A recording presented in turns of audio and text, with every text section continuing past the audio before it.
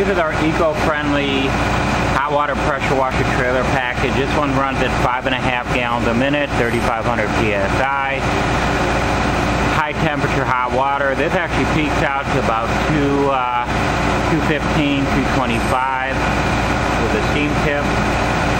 Uh, this is our 30 inch diameter vacuum surface cleaner. That actually will actually clean concrete at high pressure, hot water, vacuum recovery, and it actually vacuum recovery right back into the uh, purple tank right there, which is purple because that's uh, uh, pretty much international sign for recycled water. Show you the whole the recycling part of this. This is the, the vacuum surface cleaner. Amazing design. It's been a this is our six-stage wastewater recycling system here on the left, the purple tank. You can see we're hooked up to a very unique 30-inch vacuum recovery surface cleaner. This actually allows you to pressure clean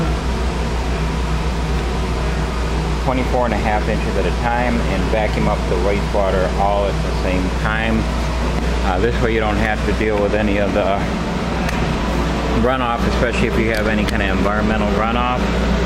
Also, um, great for Walmart, Home Depot, Lowe's, Walgreens, uh, and Target contracts.